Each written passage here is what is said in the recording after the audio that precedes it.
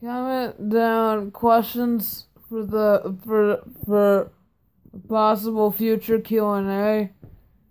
I'll do it at either hundred subs or whatever I get or when bleh, whenever I get over ten comments asking for uh, questions because I asked for twenty last time and I only got two.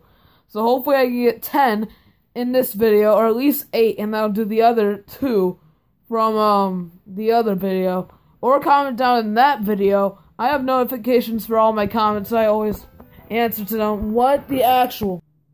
My alarm clock just glitched out there.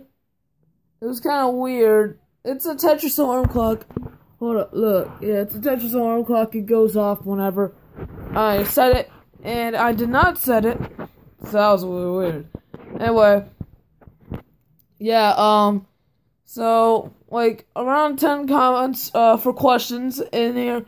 Anyone that hears this video, anyone that sees this video, comment down in the comment section below any question you want. There are a maximum of two questions per person that um everyone can ask. Um, I'll wait till either 10 or 20 depending on how fast I get them. If I get lucky and I get like 10 the first day, I'll wait a couple more days to see if um to see if um any more comments rolling. But if it's if it's just um like if it's just a ten for a couple days, then I'll do it before 100 subscribers. You know, so you know that stuff. So yeah, yeah. Okay. By the way,